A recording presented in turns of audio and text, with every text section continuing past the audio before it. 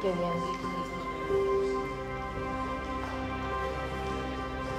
Lluïsa, Pot pareixer poca cosa, però els nostres 67.000 clients inverteixen cada any en obra social perquè persones com Fina puguen recordar el nom de la seva filla almenys un dia més. Sembla poc, però té un valor incalculable. Descobreix el valor incalculable de ser client de Caixa Ontinyent. Caixa Ontinyent patrocina este informatiu.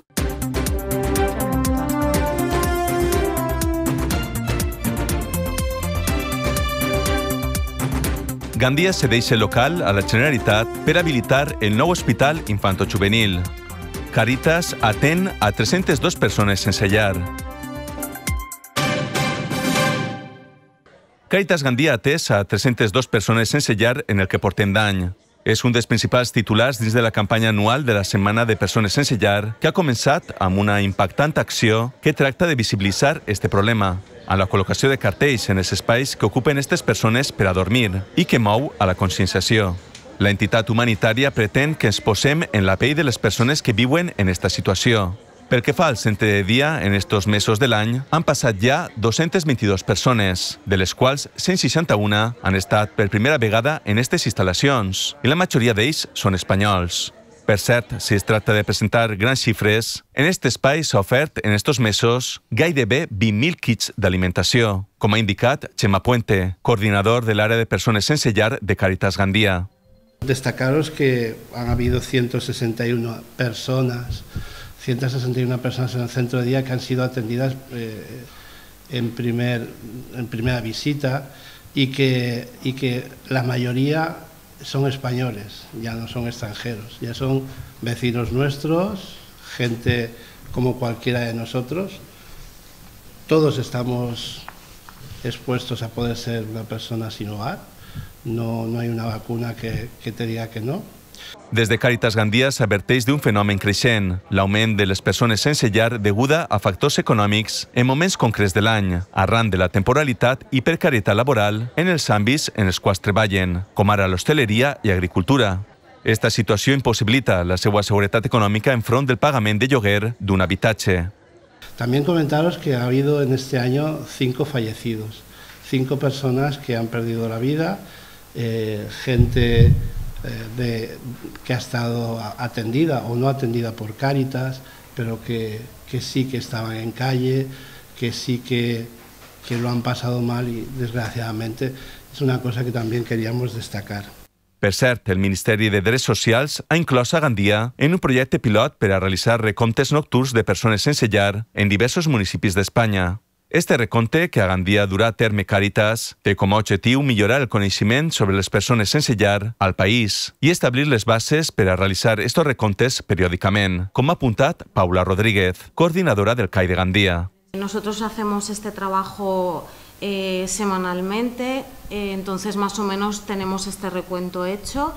Eh, es algo que va oscilando, no siempre son los mismos números, pero podemos tener entre 30 y 40 personas en situación de calle, eso va variando.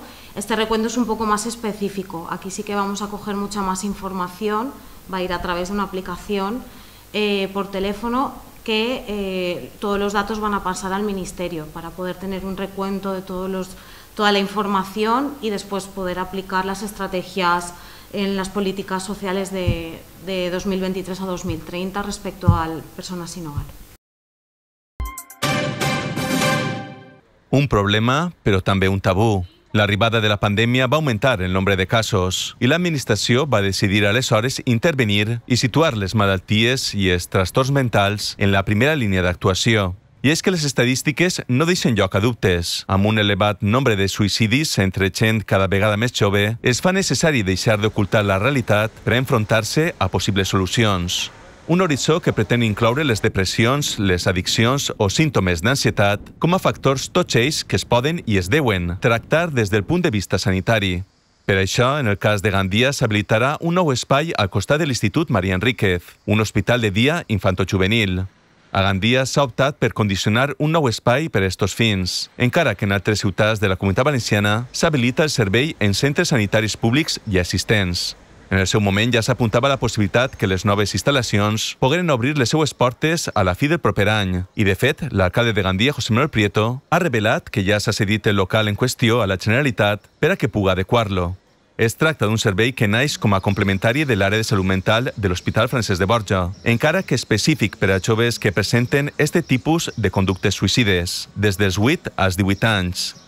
El president Carlos Mazón va posar damunt de la taula projectes importants que venen del govern anterior.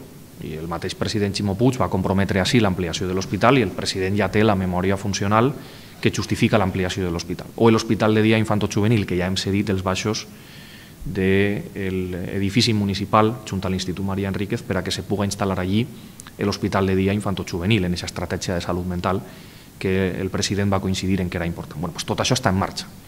Els usuaris d'este nou espai sanitari no sols seran d'àmbit local, sinó que la intenció és que es doni una cobertura molt major, en tractar-se d'una estratègia més àmplia dissenyada per la Conselleria de Sanitat.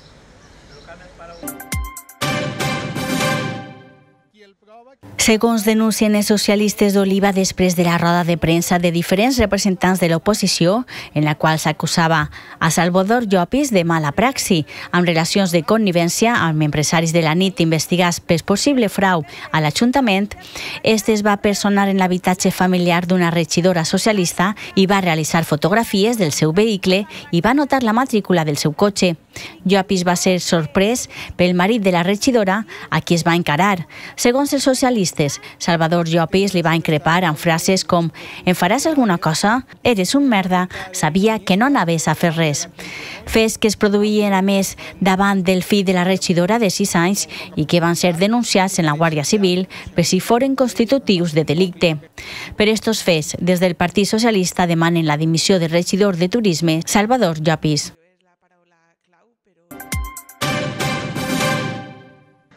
Ahir diumenge se celebrava el Dia del Confrare a Gandia, al qual finalment van assistir 800 persones de les 18 germandats de la ciutat.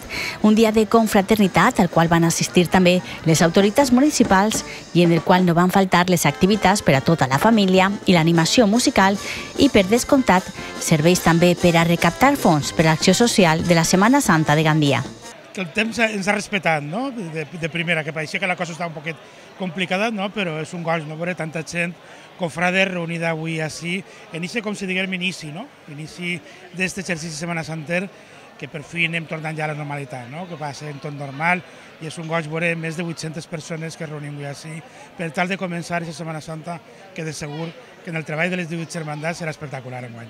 Esta jornada que suposa l'inici d'aquest exercici de la Setmana Santa de Gandia va ser també un moment molt especial per a Gloria Fernández, la padrina de la Setmana Santa de 2024, ja que tenia el seu primer contacte amb els confrares de la ciutat. La veritat és que avui ha sigut el primer acte, diguem, que, que estem totes les germandats de Gandia i l'acollida ha sigut fabulosa, estic mm, pletòrica, de veres, ha sigut una, una meravella des del moment que ha arribat, no han parat de felicitar-me encara.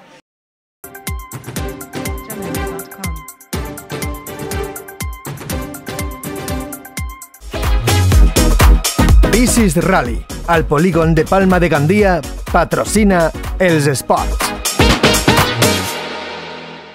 El club de futbol Gandia aconsegueix vèncer per primera vegada front a la seva afició en el Guillermo Lagüe i per segona vegada consecutiva en esta Lliga 2023-2024. Els blanquiblaus guanyaven 2 a 0 front al Club Deportivo Castellón B en un partit en el que en els primers 45 minuts no va passar pràcticament res, llevat de l'expulsió d'un dels jugadors orelluts que deixava al conjunt castellonenc amb un jugador menys durant al voltant de 65 minuts.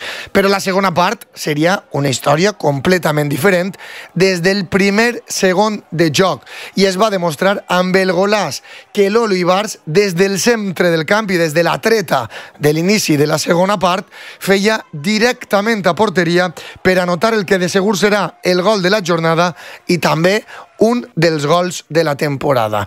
Ja al voltant del minut 60, Alberto Escudero posava el 2 a 0 en una gran jugada col·lectiva que acabava rematant el davanter blanquiblau per posar eixe 2 a 0 final. En els últims minuts expulsarien també a un jugador de la plantilla blanquiblava i a més es lesionaria Sergio Granados, que esperem tinga molt poc de temps de recuperació. D'esta forma celebrava Lolo Ibars la victòria blanquiblava. Hola afición, muchas gracias por acompañarnos, segunda victoria consecutiva. Esto es un equipazo, tío. Por favor, seguir animándonos. Vamos a estar arriba seguro. ¡Vamos! Bicis Rally, al polígon de Palma de Gandia, patrocina els esports.